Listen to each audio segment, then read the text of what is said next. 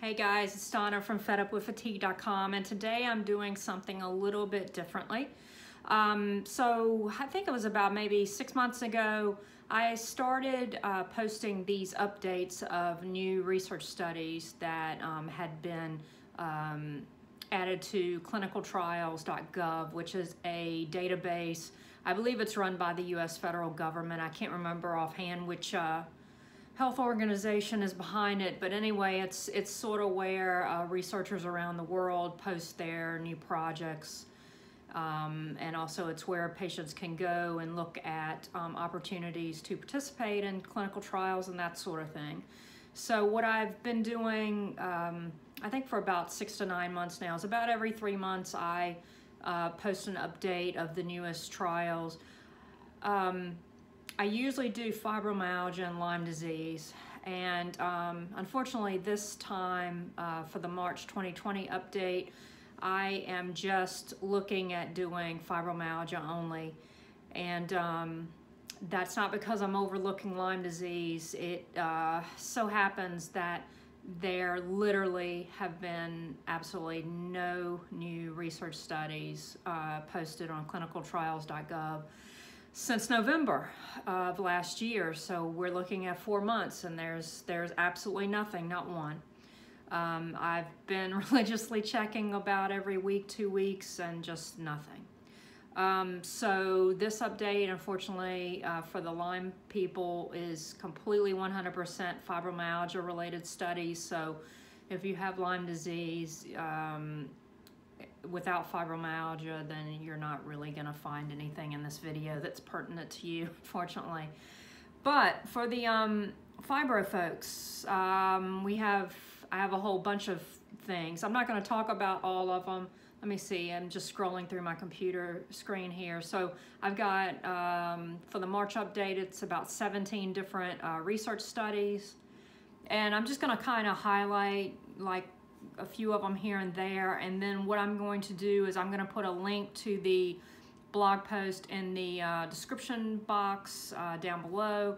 And that way you can click over and you can actually read more about the studies. You can also see the um, other studies that I, I don't talk about because I'm, I'm not going to touch touch on all 17 of them. Um, I'm just going to touch on a couple of them that I think might be interesting.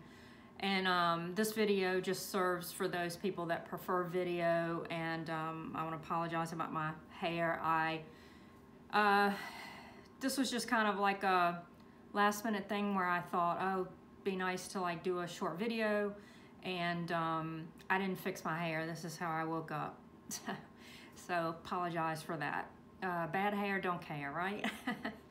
All right, so the um, couple of highlights from these from this latest research update. One of the things that I'm excited about is that there is a uh, university in Denmark and they are going to be doing an actual um, double-blind, placebo-controlled study on low-dose naltrexone. And uh, you guys know that I'm a huge fan of low-dose naltrexone. Um, naltrexone is a uh, drug that's been on the market since I believe the 70s, definitely the 80s, but I believe it dates back to the 70s if I'm remembering correctly. And it, at full dose of like 50 milligrams and above, it's, it's given for um, drug addiction purposes to help people get off drugs. But they found out that at very low doses, and typically uh, low doses of like one milligram to um, typical would be 4.5 milligrams, but some people also see benefits on doses up to six milligrams and 7.5 milligrams. Um, but anyway, at low doses, you know, somewhere between that one and, and 7.5, um, it's been found helpful for uh, pain relief, um, for immune system regulation, um, a lot of people with fibromyalgia, a growing number of people with fibromyalgia are using it. Um, I take it myself for both Lyme and fibromyalgia. For um, fibromyalgia, it helps with pain. For my Lyme disease um, issues, it um, helps to boost and, and balance my uh, immune system. So helps your immune system work a little bit better. Um, other conditions that now low-dose naltrexone's been shown helpful for include uh, things like MS, um, Crohn's disease, I think is a, is another one. Uh, there's just all sorts of uh, conditions that they've been starting to to try it with. Uh, chronic fatigue syndrome is another one. Um, so pretty excited about that. It's a 12 week study, like I said, in Denmark, and uh, they're going to start people. I believe it it was a 1.5 milligram dose, and they're gonna uh, titrate them up to six milligrams over the uh, 12 weeks and then see what happens with their fibro pain. So that should be pretty interesting. And it is 100 patients, so it's a little bit larger than some of the other uh, naltrexone uh, studies that have been done in the past. Um, another one of the studies I'm kind of excited about is a study that's being conducted by uh, Dr. Jared Younger out of uh, University of Alabama, Birmingham. And um, you guys know I've written about him several times on Fed Up with Fatigue. Um, I just love his work. He's creative. He's doing work that um, other researchers, uh, fibromyalgia researchers, aren't doing. And he, his focus, a lot of his focus is on looking at um, the brain of fibromyalgia patients. In this particular study, he um, his, his theory is that fibromyalgia is caused by an overreactive immune system. So uh, this new study that was on clinicaltrials.gov is like a continuance of that research uh, where he's um, continuing to try to link uh, immune system overreactivity to fibromyalgia symptoms. So that's going to be pretty interesting to see what becomes of that. Um, there is a cannabis study out of Chile, which um, is kind of interesting. They're um, going to be giving, let me see, 44 women with fibro um, a um, extract of cannabis. It's a combination uh, THC and CBD product, and they're going to see if that helps um, with with pain and other symptoms, I guess. And the it is a double-blind, placebo-controlled. Um, so if the results work out, should be, um, you know, pretty, add some credibility to using cannabis for fibromyalgia. We have had recently in the last, um, last few months, a couple of cannabis related article uh, research studies coming out. Um, and so far the results look good, look promising. Um, of course, you're always going to have people who say we need more research, more research, more research. So this uh, study coming out of Chile is going to just kind of add to um, what's already been done and hopefully all of the studies that will be coming in the future. Um, there are actually two studies out of Israel on um, hyperbaric oxygen therapy for fibromyalgia. So I think it was back in 2015, this same group of researchers did their initial study on um, hyperbaric oxygen chambers uh, and fibromyalgia, and the results were really, really good. And so uh, these two studies are just continuing um, that area of research that that particular university has um, been involved with. Let me see. Um, there's there's a study looking at um, what they call photoregulation, which essentially is red light therapy. So I don't know if you guys have seen an example of red light therapy would be the uh, Joovv product, uh, Joovv, which I think is J-U, I think it's, let me see if I can get, all right, it's um, J-O-O-V-V, uh, Joovv, J-O-O-V-V, and it's a red, red light therapy device. That's an example of of one of the devices that's currently on the market. And so essentially they're going to be looking at red light and is that helpful for um, fibromyalgia, pain, and that type of thing. Uh, let's see what else we got here that's interesting. Um,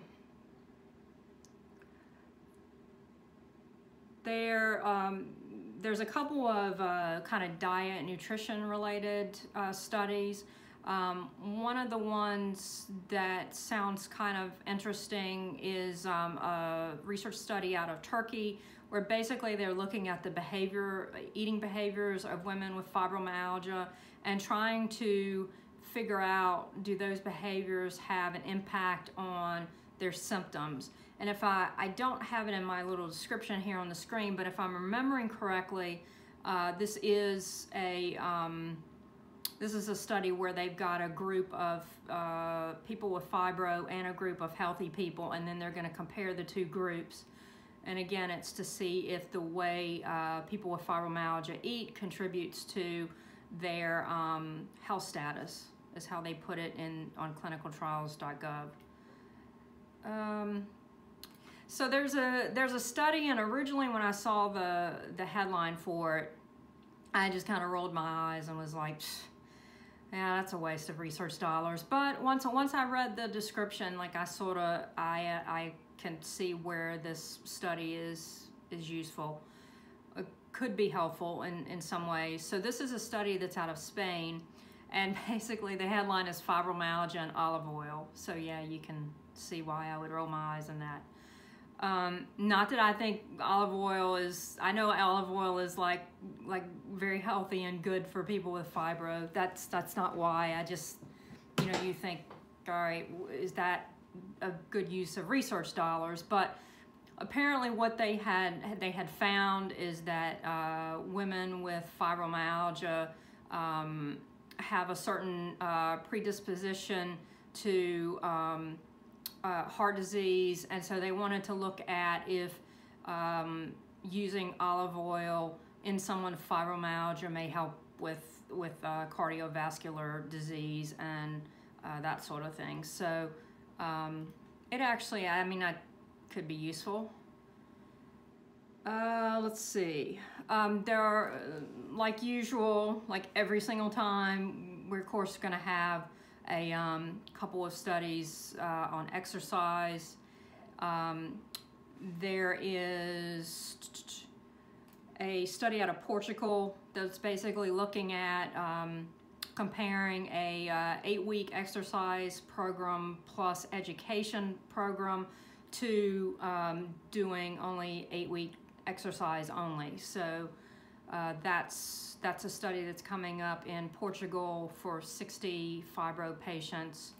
And also, you know, the research studies also tend to, we always tend to have some studies that are looking at like cognitive issues and um, mindfulness and stress management and all that sort of stuff.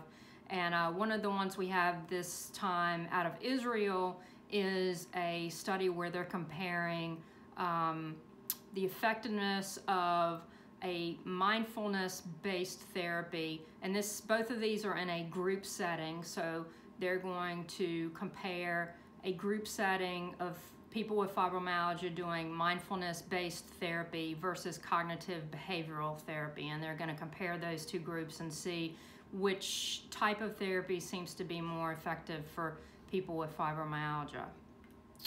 Uh, let me see if there's anything else here that I wanted to highlight. I don't want this video to get too long. I just kind of wanted to give some highlights for people that maybe they don't they don't want to read or maybe they don't follow me on my website, but they do follow me here on YouTube. So just kind of scrolling through. There's a, um, a Turkish uh, research study out of Turkey that's looking at um, stigma related to fibromyalgia. So that's, that's kind of interesting. There is, um, there's also an acupuncture uh, study, so ear acupuncture. It's through a um, VA medical center in Ohio, and they're gonna be um, trying to teach uh, veterans, I think it's 30 persons. They're going to try to teach these veterans how to um, put, put the uh, needles into their ears uh, by themselves at home so that they can basically self-treat with um, that kind of acupuncture. And um, fibromyalgia, uh, veterans with fibromyalgia are a part of that study. Uh, you know what, I think that's gonna be all that I'm gonna try to focus on for now because like I said, I don't want this to be this video to get too long. Um, but yeah, so let me know in the comments Um, are any of the studies that I mentioned, are you excited by any of them? Are you hopeful by any, hopeful, uh, feeling hopeful by any of them? And um, definitely feel free to um, click over to the uh, blog post to see the other studies. Like I said, I, there's 17 total. I probably hit on, you know, maybe eight to 10 in this video. So there's other stuff in, in the uh, post that I didn't discuss. And take care, guys. I hope you guys are doing okay. All right, bye-bye.